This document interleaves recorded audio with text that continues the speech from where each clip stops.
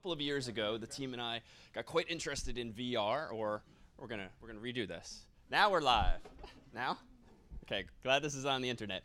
Uh, this is CS50. My name is David Malan, and behind CS50 is this amazing production team. And a couple years ago, we got interested in virtual reality or VR, which, as you might have noticed, is gaining steam in industry um, and all over the place. And we wanted to be among the first to really start experimenting with it in education, particularly to bring to CS50's various communities around the world, as depicted here in red, our high, our, uh, our high schools using CS50's curriculum in some form, and in blue, our universities using the same really to give them much more of a window, a, a, virtual window into a space like Sanders Theater. And so we set out to record all of CS50's lectures in VR, to experiment beyond the boundaries of the classroom, and really begin to ascertain what is possible with this technology. So without further ado, CS50's own Dan, Arturo, Scully, and soon Ian.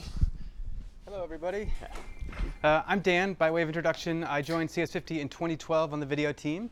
Um, and that was right when we started the edX platform, um, or started with the edX platform. And so you guys, when did you come on board? Uh, I came on board in 2015. I'm Scully. Um, and I was working um, at Hauser Studio for a little bit, and then I uh, was able to transition to over here. Um, and uh, it's been an exciting time. We've been tackling a lot of new things, and excited to share VR with you guys. Uh, I'm Ian. I started a little after Scully in 2015, um, right at the beginning of the experiments with VR. Um, so it's been sort of a very interesting and crazy ride. But yeah, go for it. Uh, I'm Arturo, and today I, in about two weeks, I'll have been on board for a year now, nice. which is fun. Uh, and yeah, it's been very exciting to work with these guys and sort of learn everything that uh, they have to showcase about virtual reality as well as production overall. Sweet. And so we're going to give you guys a little bit of an overview of our VR production today. So we'll focus mainly on video production in 360, um, but we will also talk a little bit about other applications. So first of all, making video, who has, who knows what VR is? Who's put on a headset before? Lots of people, okay. Anybody not put on a headset before? Come on, don't be shy. Somebody hasn't put on a headset in this room. I'm going to give you the opportunity right now. No? No hands? Wow. All right, well, we're going to do a demo anyway. So would somebody like to come up, for the person who's being quiet and is not putting their hand up, would they like to come up and do a demo and see what, put on one of the headsets for us to show everybody what the experience is like? I need a volunteer. In the back. Come on, guys, we're going to get you moving. This is not a free lunch. There's no such thing as a free lunch. All right, Chris is coming up. Hello. All right, so have you put on a headset before? All right, well, this is going to be exciting. So we're going to put you into our HTC Vive. Okay. And so what you do, you want to stand right in the middle here. Let me disconnect this. So you are tethered with the cable, but go ahead and put that on. Get it comfortably placed around your head. And for everybody else, if you can full screen this, we're going to put you into Fruit Ninja. Have you played that on a device before? No. iPhone, iPad? Nothing. All right. Are you seeing uh, some fruit in front of you? Yeah. Do you see, hold on, two katana swords in front of you? Yes. All right, grab those. yep, there you go. You got it? Yeah. Okay, so the whole thing is you're just gonna gonna slash. So as the fruit comes at you, just go ahead and slash. Nice.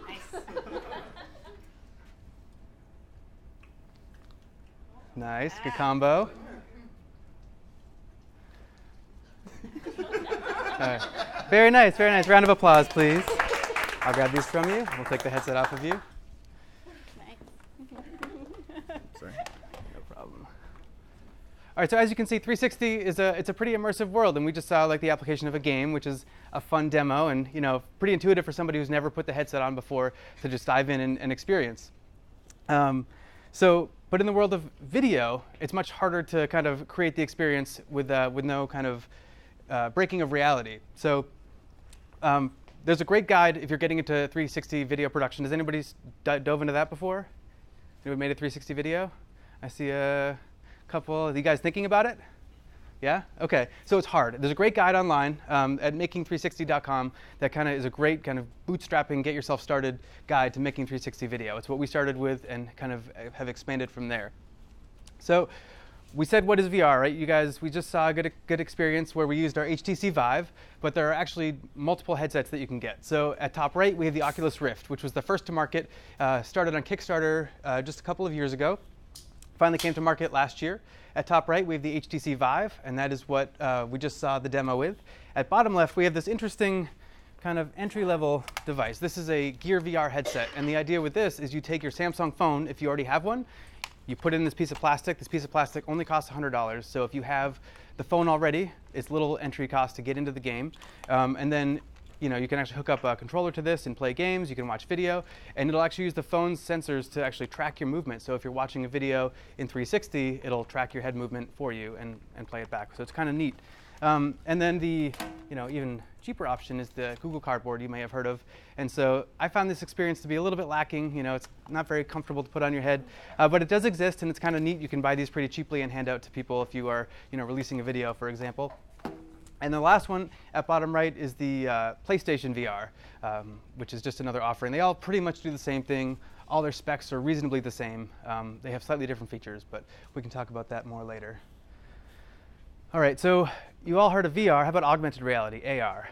We know what this is. I see some nods. See Pokemon Go might look familiar to some people in this room. Yeah, I'm getting more nods. Okay. so uh, augmented reality is where you're not exactly taken out of the world that you're in and put into a new world. It's where you're actually experiencing the world you're in with an, like an overlay, for example. Um, and so Microsoft's offering of this, if we're getting into the headset world, is the Microsoft HoloLens, um, which is pretty neat because when you put this on, make this a little bigger. I can still see all of you, you can see all of me, but I get an overlay in front of me that maps in real time. So as I track my head around, I can change settings with hand gestures and click and touch. And what it looks like is kind of like this. Granted, that's a marketing photo. But the idea is you can take things like a, a browser or uh, they have little animated creatures and you can slap windows around your environment. So it's almost like if you're, you know, doing some spreadsheet work and you need to have something up next to you, you can just like put multiple windows up and, and see them all in real time and not be taken out of your world. So just kind of a neat way to uh, experience your, your existing world without being taken out of it. So what is the history of VR? Does anybody know how far this technology goes back? A long ways, yeah, about 1860s, right? So the one of the first uh, examples of this was artists doing uh, murals in the round. So they would actually paint around them in 360 and put you into that world, so you could actually experience, you know, being taken out of your world and put into this virtual world. In the 1920s, there was the first flight simulation device. Um, we kind of stepped up the game a little bit in, the, in 1957 when the Sensorama device existed. We're still not in the realm of head-mounted headsets, but um, you know, you had a screen, you had fans blowing, you had uh, smell sense added, which you know, fortunately for today is not yet viable with the, the headsets that exist. Um, in 1968, we got the first head-mounted display, which uh, in the 80s was used by NASA to kind of research interactions between humans and computers, try to make workflows more efficient. And then in 1987, we got the term virtual reality actually coined, um, at which point things kind of stepped up a little bit. And the next big leap in the technology was just in these past few years when we got all these consumer grade headsets coming out where you could actually go and experience this technology you know, in your living room for relatively cheaply. It's not still not cheap to get into the game. If anybody's wondering like what the price point is to get in, all of the the Vive and the Oculus Rift, those headsets are on the order of five six hundred dollars. But you also have to have a PC to use them, and it has to be powerful enough to actually drive the headset. And the cost of that PC minimally is about five hundred dollars. So you're looking at eleven twelve hundred dollars just to get into the game uh, if you're not using just the Gear VR headset. All right, so looking at 360 video. So, you know, we're all filmmakers and we like to make movies and we're used to working with this traditional frame. And you can you know guide your viewer you tell your story and it's up to you how you how you drive and motivate them. But it's a whole different world when we get into 360 video. So what you're doing is when you take 360 video you've got the camera in the middle and you can literally see all the way around everything that's around right? For better for worse. And what we do is we take that so, uh, in software we take this you know mapping of however many cameras you're using however many lenses you're using and we project it into a, a 2d image so we can work with it in post-production and so that we can then put it into a headset and play back the experience for people who are wearing the headset and what this looks like is this Has anybody know seen this frame before right? So it's colorful and, and pretty in this setup, but this is called an equirectangular frame. And what this represents is each uh, color that you see represents a different camera. And so we're looking at the output of two different rigs once all the cameras have been taken and stitched together and put into a frame that represents kind of the world, right, the 360 world, and it gets projected around you. So you would take this output and load it into your camera, or sorry, into your headset, and then you'd be able to look around and experience the world around you. Um, we get into issues where we actually get the two cameras where they, they come together. So parallax is like the, the difference that you see when you look at something from one point versus the same point at another perspective. So you're kind of uh, you get this error where you where your images kind of meet and you have to decide how you want to stitch that. And typically you can make this choice. You're either stitching for close to the camera, medium range, or long range. And if you really want to get fancy, you can actually composite um, multiple together. But Ian's going to talk about that when we get to post production a little bit more later. Um, but you get these kind of errors, uh, if you will. And what they look like, uh, you can see in the, the top left frame, there's like a line kind of blurred um, at the corner of the car, and on the down here on the table, there's like a, a cable that's been kind of cut out, and there's like a the table is no longer round. There's this kind of error, and so this is the this is called the stitching error, and this is if you are not careful to kind of put your footage back together um, in a careful way. And so there's different levels of post production you can do. There's very quick to very lengthy and involved, and uh, we'll toss that to Ian in a few. So what this means is that you need to know what your world looks like when you're shooting this. So if you're using a camera that has six cameras in it, you need to know at what point the seam, where the seams are for cameras so that you can direct your action around that. Anything that's happening that's important that you want to make sure you don't like get a stitching error, you want to make sure that you're guiding the, your talent um, when you're making your movie or your film or whatever you're making and put them in between the seams. So it's important to know, have monitoring or previewing of some kind so you know where to put seams.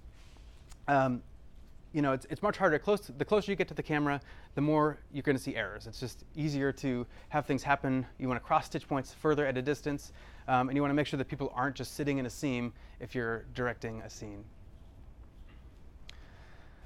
Which takes us to the many, many rigs that now exist. So we got into this just over a year ago, and we started looking to see what was out to market, and it was really, really hard at that point in time. It still is, but uh, people were you know, lots of things were on the horizon. Samsung had an offering, GoPro uh, had an offering coming. GoPro had nothing official from themselves, but people were taking GoPro cameras, 3D printing rigs, and putting them together so that you could put them uh, into into practice. And it was just a, a, challenging world to be in. We went to NAB two years ago, and everybody had VR stuff, but nobody was selling it yet. Uh, the one exception being this Ozo camera in front of you here. So one of the easiest rigs to use, which we actually used for a project called Around the World, is the Ricoh Theta. Um, and I'm going to kick it over to Scully to tell you about how we use this camera. Okay, so um, one of our so this is a we created a playlist. So the the object uh, the objective of this project was to connect our our students that are around the world in our CS50X program, um, and it was also inspired by um, the Hello Worlds uh, videos where students would say "Hello World" and they would send videos to us here, and David for uh, CS50 Live would um, feature them in a segment called Hello World. Um, and so, stemming from that idea of connecting students virtually, we decided to try it out um, in 360. Um, and so, we created this kit uh, through a lot of trial and error uh, of trying to figure out how do we send a camera across the world uh, make sure that they are know how to use this new technology and um, how can it be watchable? Because what we found out as we like demoed in the office and sending like our producers out with a camera and saying okay just shoot something. Show us like your world. Show us like your story.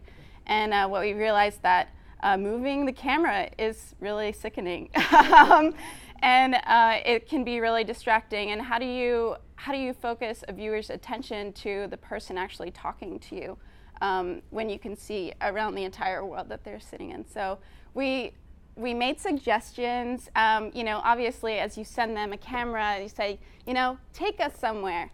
They, it's up to them wherever they want to take us however they want to do it. But um, we came up with like a little hello pamphlet that kind of um, talks about like the workflow and what we plan to do with it, like all of the buttons and everything. Um, how many of you have used a Ricoh Theta or seen one? Nice, Joe. Cool. Um, yeah, so it's um, a really awesome small camera that um, you can charge it and download your footage via USB which is super convenient. Uh, we would send them because we realized how much movement is impacted when you're watching it. Um, we sent them with a selfie stick. uh, which is a great way to uh, you know stabilize the footage, but also get some distance, so we get more of an idea of what their space is. Because the further they are from the camera, the more we're going to get to see if they're like this. We're really going to see their face and then everything behind them. Um, so it's a super small camera. And um, it has two different modes. It has a picture mode and a video mode. And it also can be controlled via Wi-Fi on your phone. Downloading the app, super convenient, really amazing.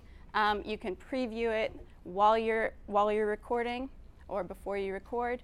Um, you know, the trick with VR, as Joe can tell you and as all of you can say, speak to um, when you're recording, if you don't want to be seen in it, you got to be somewhere else, right? So if you were to drop this down, you'd disappear behind some furniture, then you could view it on your phone and uh, press record. So um, it was a really great project. Um, people responded really well to it. Um, it was amazing to get to see, and so this playlist really features um, some of the places that the students across the world took us to. We had um, a school in Bangladesh, a women's college in Bangladesh, that we got to speak to 15 students. They took us to their favorite spot um, on the roof or in the student center or at their house. And um, we ended up touching um, seven different co- uh, countries.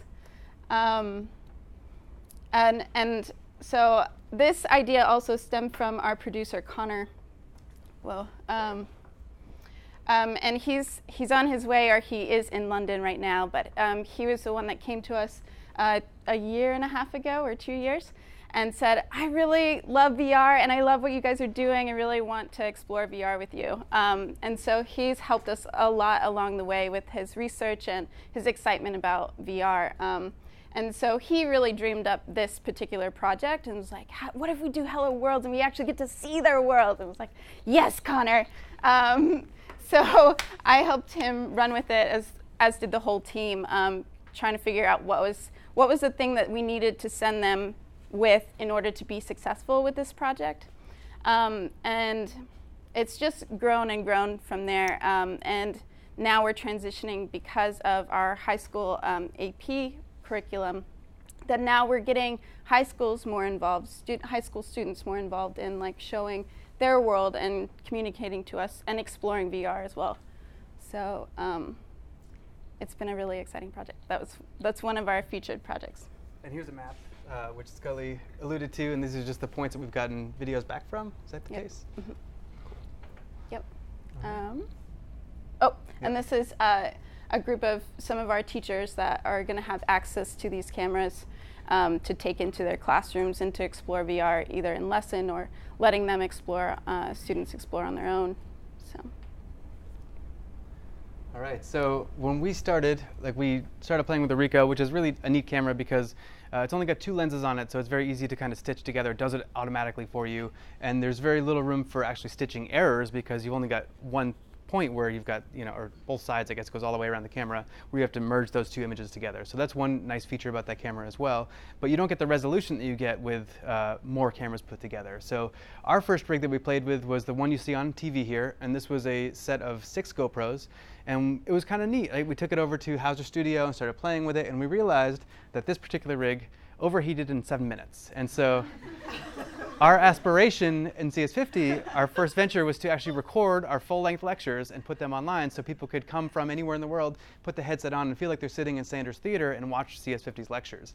Um, but seven minutes, you know, David is quick. He's a fast talker, but he's not that fast. So, uh, you know, part of the thing, like in getting into this, was that everybody was getting into this at the same time, and still today, people are figuring out how this works. So even the manufacturer was like, "We can't really help you with overheating it. Try putting ice in between all the cameras. Like that's not a good solution, right?" So the next step that we did was we got a different rig, which is the one that's standing on the stand over there um, with the blue around the cameras, and they're just a little bit farther apart, and the cameras actually vent enough that you uh, only overheat after many hours. I don't think we actually got that one to overheat at all. So um, we realized, okay, we can run with this one for a good two hours, three hours without an issue. It's all about the size of your SD cards that are in each camera.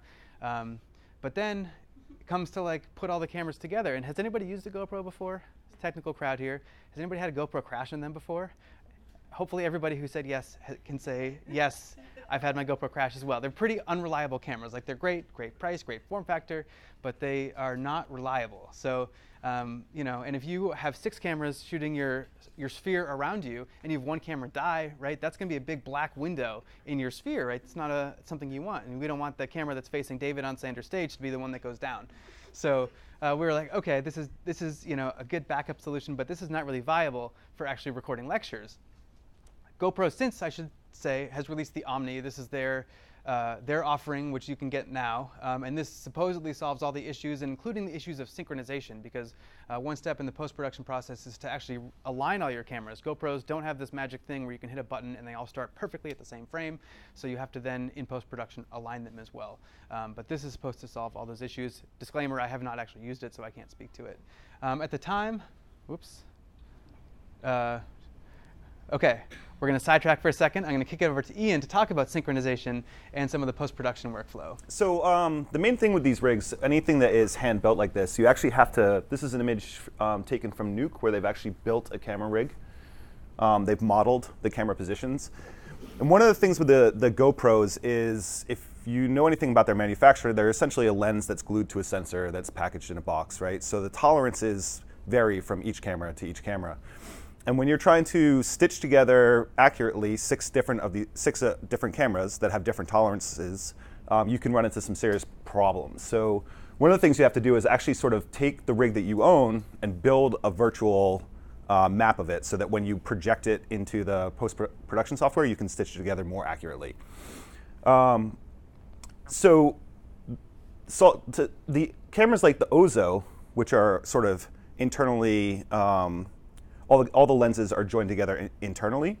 You don't actually need to do this, right? Because they've built the software and the camera is basically like designed in a way where you don't need to model a rig, right? They've already done, done that step for you. So this is one of the main problems with trying to build rigs like this. You could build a, a VR rig out of red cameras. We looked into that. It was far too complicated, I think, really, because modeling these rigs is like if you're off by a few millimeters or a couple degrees in either way, the seams just sort of blow out and everything falls apart. So we, when we first started, we're using Nuke, um, which is a nodal-based uh, post-production like VFX software, and to stitch together the GoPros. And so the synchronization was like a major issue, which is just getting all the GoPros to start at the same time and make sure that one camera is not sort of a couple frames ahead of the other five cameras.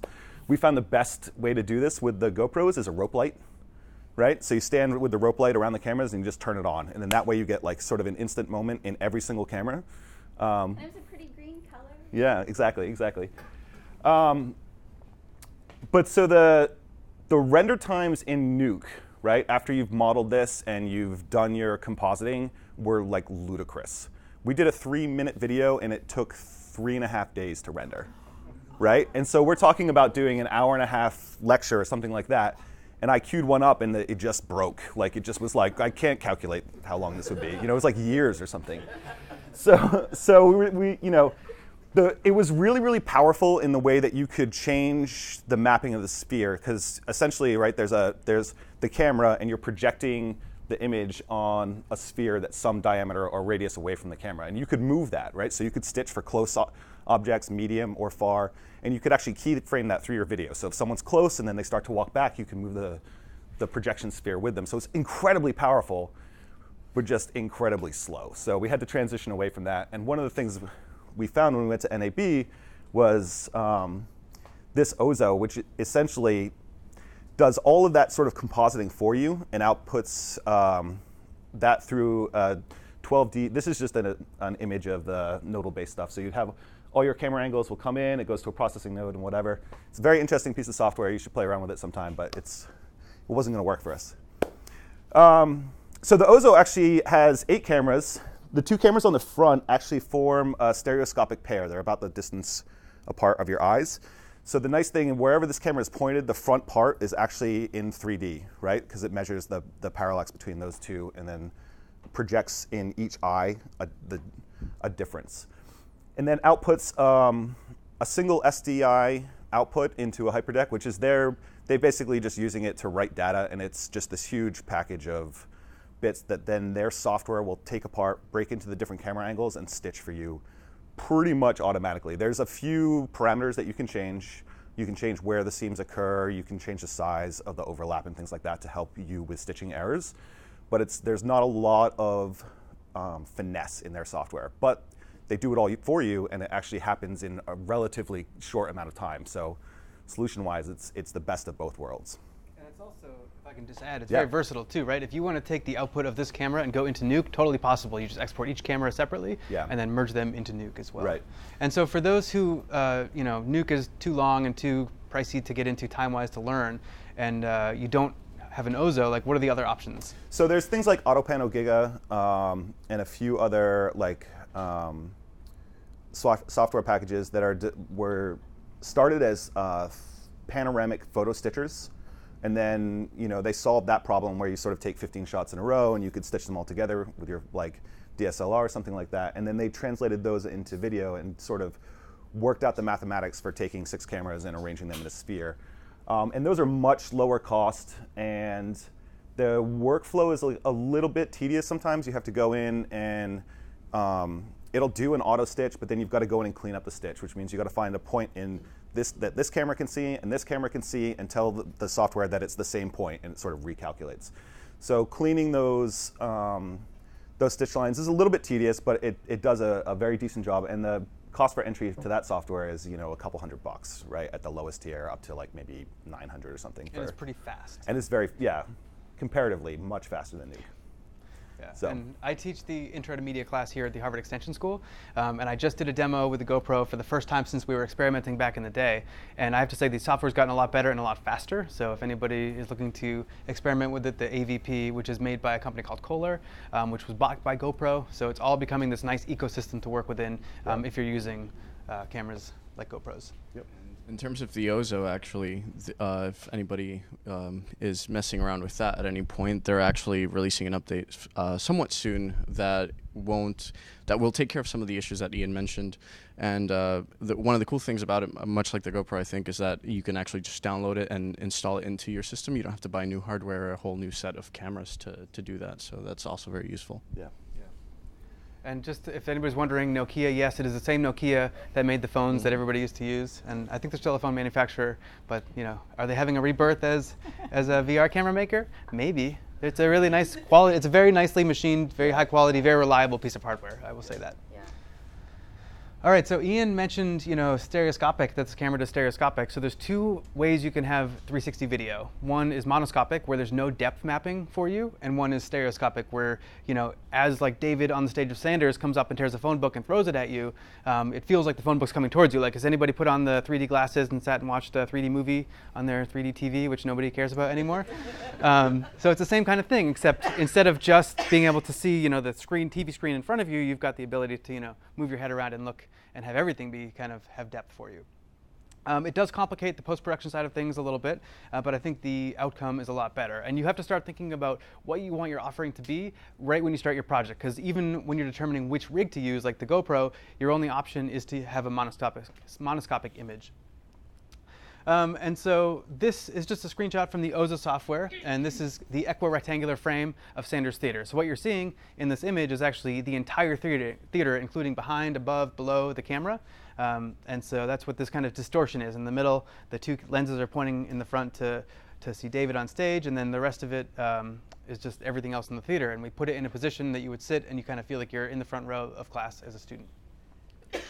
Um, you know, the outcome of this, uh, you've got your stereo right and stereo left eye, and you can see that, uh, you know, left eye David is center, and the right eye David is slightly offset, and that's that stereo disparity so that uh, you get the feeling of depth when you actually watch the lecture. And we digitally inserted this uh, screen here, which matches the projection, because uh, one thing that really stinks about all of this hardware, um, especially it's the, the headsets, all of them, not just the Gear VR, but the Oculus Rift and the uh, HTC Vive, the resolution really stinks. It's very low. And so I noticed that when you put the headset on, it just feels very, it kind of takes you out of the immersion of it a little bit because you put it on and you're like, wow, this is cool. It feels seamless because it's tracking my head. But then you start to see all the pixels and you lose all the detail uh, because it's just the resolution is so low. And I think that'll be one of the biggest things going forward is once they figure out how to cram more pixels onto the screens themselves that you put over your face, it's going to feel a lot more immersive.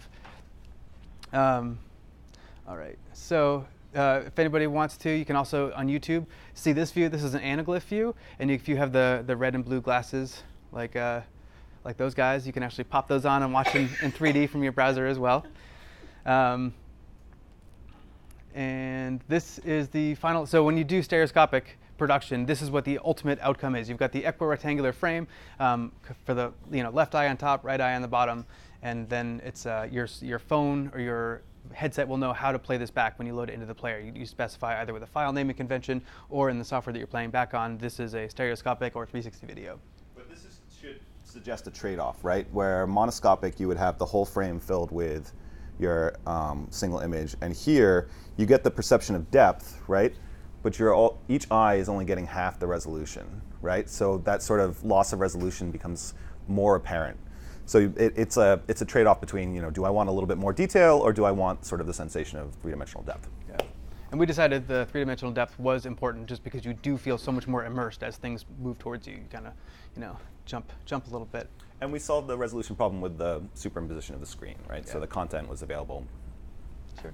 Um, and so, you know, this is just a screenshot of the Nokia Ozo post-production software. They call it Ozo Creator, and this is just a view from Sanders Theater of, uh, you know, each camera, the eight lenses that are sitting on the Ozo rig itself, which get merged into that equirectangular frame. So, uh, when you're not talking about CS50 lecture production and you actually have uh, like a narrative story or something like that, you have to, Scully alluded to like holding up the Ricoh Theta and like, you know, hiding behind a couch, right? We call this camouflaging your crew. When you're, you know, the, the best allusion I can make to this is the Muppets. So uh, Jim Henson on the image on the right, when in the original Muppet movie, actually operated in a diving bell under the water and shoved his hand up through uh, into Kermit and then had you know his second hand controlling the hand and he had a monitor between his legs and he sat there for hours just making Kermit move so that nobody would see the Muppeteer, and it felt very seamless. And if you've seen the movie, um, you know the effect is, is great, but this is what they went through to actually do it. Um, and so it's the same kind of thing in VR video production, where uh, you know you need a good way to monitor what's going on, so that you don't have to be sitting right at the camera, because you're gonna have to either paint yourself out later, or you're gonna have to incorporate yourself in the shot. So we call this camouflaging the crew, and you just need to take that into consideration. And even lighting, right? There's not a good place to put lighting. Some people put like uh, on the like the post that holds the camera up, you can put lights on, which kind of gives you like a, an eye light or a little bit of fill light. But uh, you really need to use practical fixtures to actually light your scene because there's nowhere to hide anything. So just something to, to keep in mind. And when we talk about you know storytelling um, or narrative pieces um, or more creative pieces, you also have to figure out how to direct the viewer. In in the 2D world, in the 2D world, we we have this frame that we're used to being able to you know cut and we can you know direct the audience to a bear, right? If we want to look at the bear, but in the the 360 world, right, you're seeing the whole world. Sorry, the illusion is lost with this clicker. You're seeing the whole world, um, and so that you know it's you as the viewer can choose where to look. But if you want the the bear to surprise the viewer, you need to find a way to direct the viewer to that. And there's several ways to do that. You can uh, use action, so you can like have some kind of leading element that wraps around and gets your viewer to actually move around and, and track it. Um, you can use lighting to kind of highlight something and move the viewer, or you can use sound and spatialize your audio and actually um, you know, have a sound move around them if they have headphones on, and you'll your head will turn naturally. Just as a human, your your instincts will cause you to, to turn. the most immersive things you can do is sort of is is build a soundscape so that the viewer's attention gets shifted by, by some noise over here, right? And they start to turn, and then that's when you unfold action over there. Um, which was a major problem when we first started. There was just no solution for that. You'd have to go into like a game engine and basically create a, its own player for each piece, right? Which was, I don't, not really sustainable. But there's now a, a, a fair number of solutions on the audio front for yeah. uh, ambisonic audio. Yeah. And the most easy to use one that we've started to work with, which is really, really cool, is Facebook's offering. Facebook's really gotten into the game of 360 video.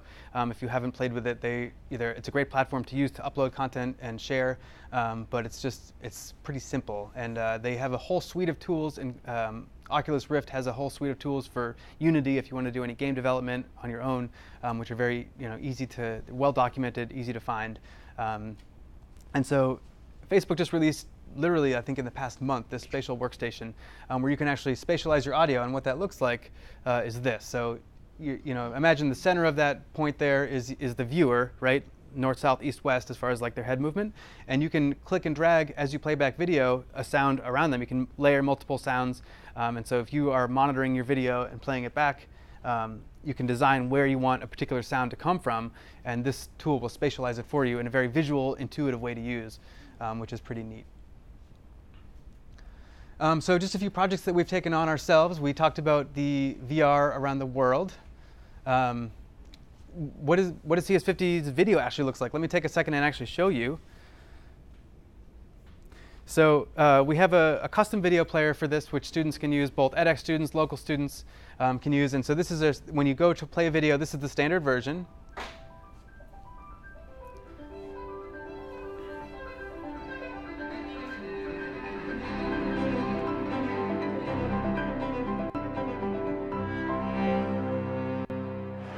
This is CS50.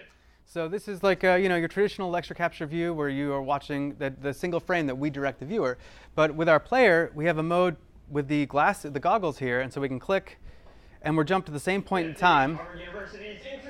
You might enterprises of computer so science and the art of programming. You can look around and as if you're my name is David. a student in the class. Thinking this morning that it's been amazingly 20 years today so you've got kind of two modes because with a two-hour lecture. uh, with the uh, with the two-hour lecture, right? I don't think it's compelling to sit there with a headset on, especially with the lack of resolution that currently exists. Um, and the headset gets heavy on your face because they're they're they have some weight to them. Um, but it's kind of neat to be able to jump. You know, let's say there's a demo and you want to see what that looks like as if you were a student in Sanders Theater. You can actually click into this mode and watch that that portion if you wish. Um, you know, you could sit there and watch the whole lecture if you wanted to, but you don't have to. So that was kind of our, our version zero, if you will, as far as VR experience goes. Thank you.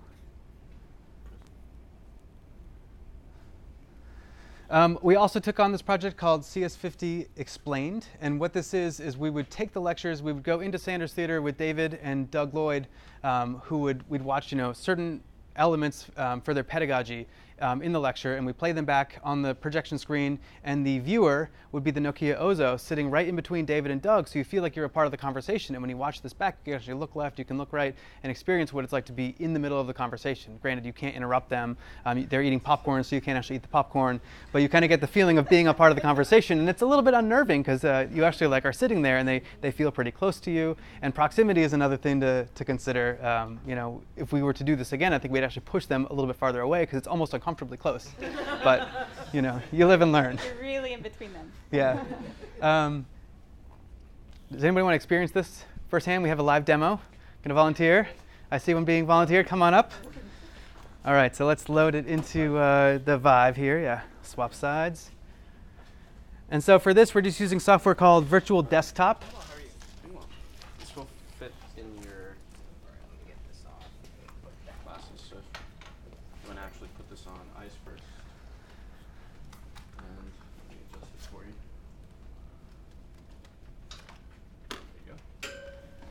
All right, so we're going to see a mirrored view of what he's seeing, but he's going to get the stereoscopic depth and everything as well. Uh, you can you can leave them off, yeah. All right, ready? So I'm going to play and this will disappear. And so if you uh, look around, look to your left, look to your right, right? All of a sudden you're, you're sitting, it's pretty unnerving, right? It's a little close. Yeah. And if you look down, do you see the popcorn? Yeah. So there's a few Easter eggs for those sitting here. You can actually uh, look, David and Doug. At one point, I think Doug puts his arm around you, and another point, David offers you some popcorn. So we had some fun Easter eggs. And you can see in the background, again, we had no camouflage for our crew. We did this uh, the normal way with traditional cameras and doing a, a multi-camera production as well. So we had no way to hide the crew for that unless we wanted to painstakingly go through and paint things out. So let's get a round of applause for our volunteer.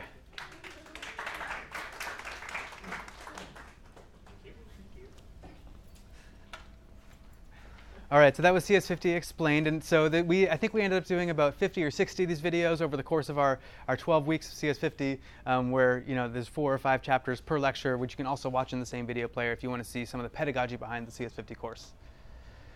Um, and then on the creative side, we just recently debuted our VR music video. And uh, Scully, you want to talk about this a little bit? Yeah, so um, we have been working with um, a really great a cappella group on campus um, that we had gotten a chance to partner with um, a couple years back and do a music video with them, and we got the awesome opportunity to do it again.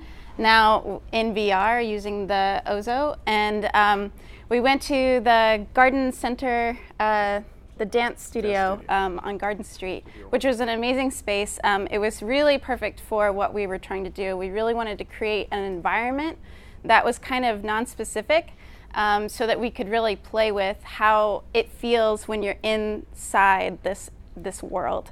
Um, so we were um, interested in really utilizing um, shadow, light, proximity, um, and kind of the experience of what happens when things are coming at you, what happens if you can't see initially what's going on, like where, like trying to direct people in the space and really have try to try to influence them and and see um, what what is working. You know, um, so we created this space. Um, and they learned an amazing dance as well as they recorded the song specifically for the video. So we got a really rare opportunity also to, um, because they were newly arranging this song, um, they get they recorded it in the studio and then they had their engineers um, see our rough cut of the video, which was just like it was to introduce like what was happening in the space. So then they could use their mix to reinforce the action which was fantastic.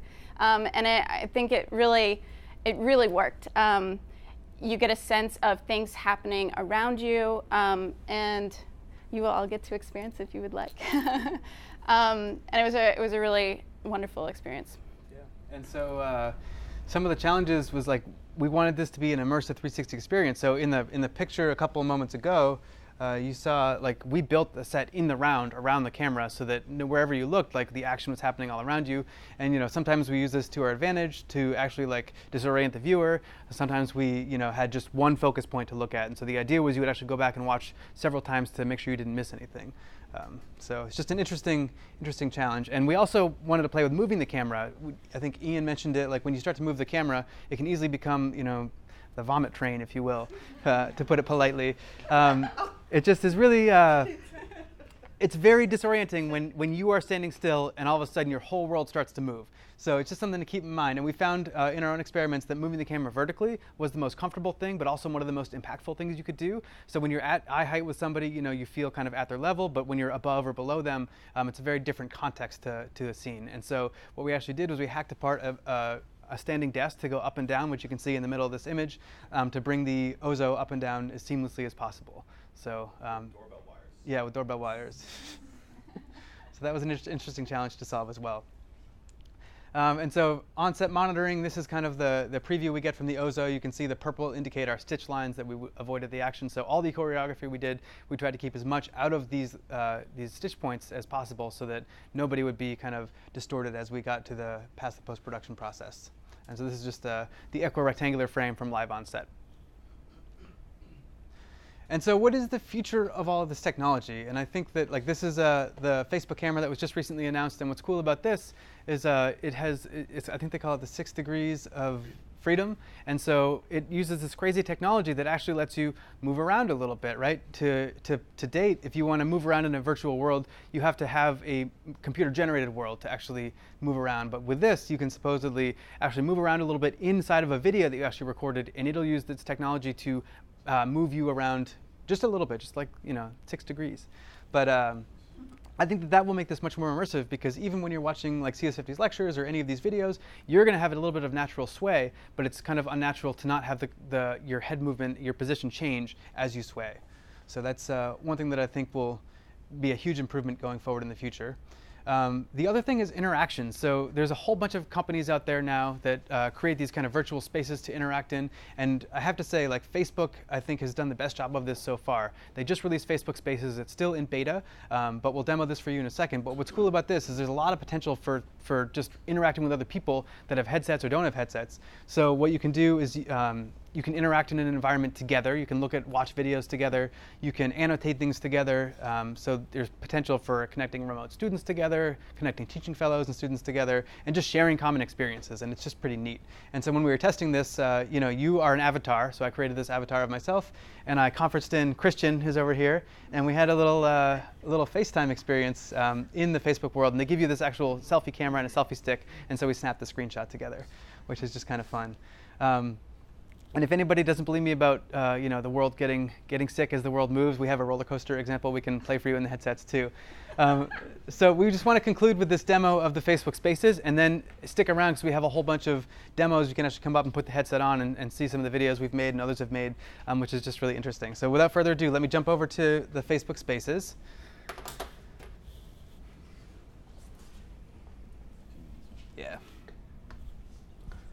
And so this we have set up on the Oculus Rift, and I have to, I'm, I'm sorry, face away from you because uh, with the HTC Vive we have sensors in the ceiling on both sides, but with the Oculus Rift they're in front of you. So without turning the whole station around, I have to turn around and face this way.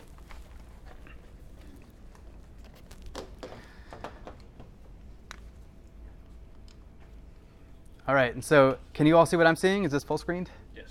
Great. So this is the default virtual world that uh, Facebook puts you into. I'm around a table. I can connect with, I believe it's five other people in headsets around this table as avatars to work with me. If you want to see what I look like, I can grab uh, the selfie stick, right? And uh, there's me. Hello. um, which is kind of fun. There's also, uh, you know, I can grab the, the pencil here and I can actually draw around me. I can say hello. Whoops. I don't handwrite anything anymore. If I want to, I can try to grab this and move it around, and I can decorate my space. If I want to put this picture up that I took, uh, I can resize it. And it's all pretty intuitive, right? I can decorate my space. If I don't like this park I'm in, I want to make it more academic, maybe I just load in uh, a whole different world. And now suddenly we're transported to Sanders Theater. I can just uh, get rid of this text now. Um, and if I'm bored here and I want to connect with some other people, I can, let's see, let's see who's online here. See if we can try a video call. Conference somebody in here, right? And so you can see, they can see this, uh, this world here, just like you would expect. And so here we go. Hello, David. So here's what David is seeing, right? If I want to grab uh, our selfie stick, we can take a picture together. There we go. we can now decorate uh, decorate this space too. All right. So we got uh, a whole bunch of stuff going on. If we want even more, I can go to my, my timeline and I can grab uh, a video and, and play this back for, with multiple people. So even in my video call, this is going to uh, play back the video. Don't fail, live demo, don't fail. Let's try another one. We'll go to uh, this one. All right, well, oh, I hear it. I hear it. Uh, for some, something is messed up here. Well, take my word for it. It's a beta example. Technology, everybody. so let's jump back to this one. So uh, thank you all for coming. We're going to conclude our live stream here, um, but stick around, come up, ask us questions, put on headsets, and try stuff out. We have a really cool flight simulator, totally non-academic, but really fun to put on and crash planes. So uh, um, thank you all for coming.